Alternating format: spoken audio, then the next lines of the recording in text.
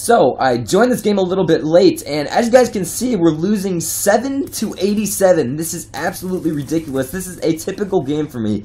Just a bunch of my teammates camping around, not doing anything objective-wise. And look, I'm not one to talk about objective gameplay because I've never really been an objective player myself, but I've always made sure that we could win the game if that was possible. And, you know, I would normally try to win the game. That's just what you typically want to do.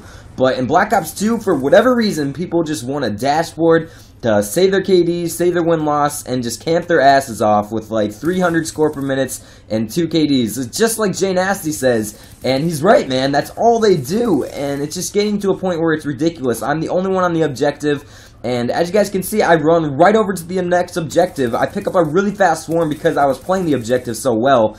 And it does reward good players who can actually play the objective in this game. I'm telling you guys right now, this is the way to succeed in Black Ops 2.